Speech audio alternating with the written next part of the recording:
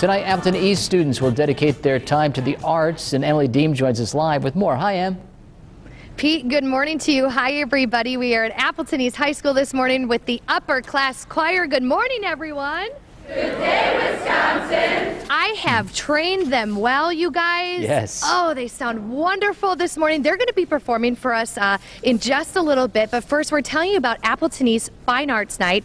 Dan Van Sickle is here with me, the choir director. Dan, tell us about what's going on tonight. Yeah, this is a great opportunity to see all the fine arts in one stop here at Appleton East. We have 6:30 to 8. All the choirs, all the band students, orchestra students, art students, forensic students, all performing in various venues throughout the school. Um, we're starting off with a big song, and then we'll have a smaller ensembles throughout the day, and then or throughout the evening, and then at the end there's a, a kind of a surprise at the end that we want people to stick around for. Oh, okay. And you guys, we have all the information at fox11online.com. But this upper class choir, I mean, I've been listening to them all the morning. They're very talented. Yeah, well, absolutely. They're great, great people. They're great supporters here, um, and super, super energetic people for being here so nice and early in the morning. Oh, yes. And we appreciate that. Well, right now they're going to be performing for us. What song will they be singing? This is uh, "Take Me to the Water," a gospel piece. All right, everybody, here you go. You guys, take me to the water. Take it away.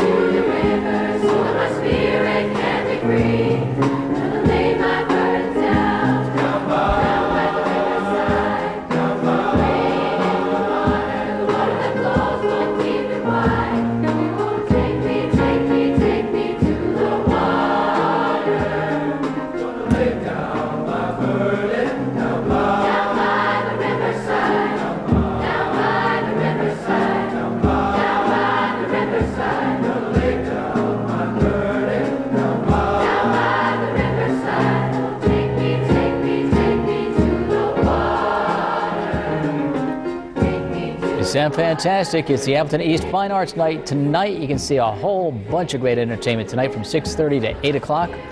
And you can get more information by going to our website, fox11online.com, and click on Good Day Wisconsin. Thanks to all the students for showing up and giving us great performances this morning.